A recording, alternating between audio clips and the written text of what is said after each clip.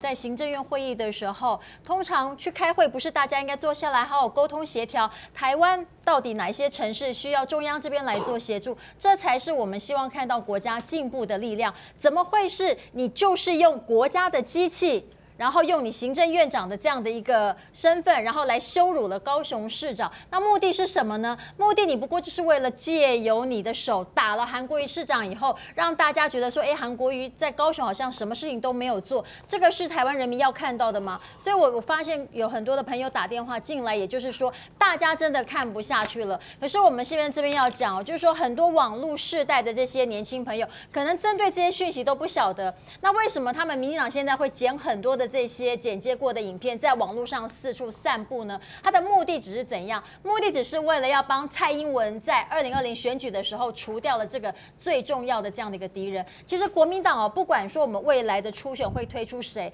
我我甚至还有接到有民众跟我写信，写什么呢？他说哦，现在绿营跟柯文哲哦，好像是在借着郭董的手啊，要毁掉国民党跟韩国瑜。我觉得这个真的是有点严重。但是呢，我我想这是很多人的担心，因为现现在在国民党的整个的初选的阶段当中，我们看不到的是一种互相比较正面的这样一个竞争的一个方式，看到的好像是有一点比较不不是只有酸而已，是有一点好像要毁灭掉